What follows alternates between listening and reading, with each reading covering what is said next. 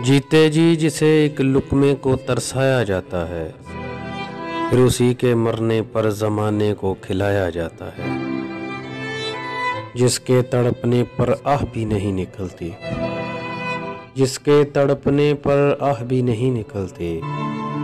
मरने पर इतना रोए के पास खड़ों को रुलाया जाता है, मरने पर इतना रोए के पास खड़ों को रुलाया जाता है।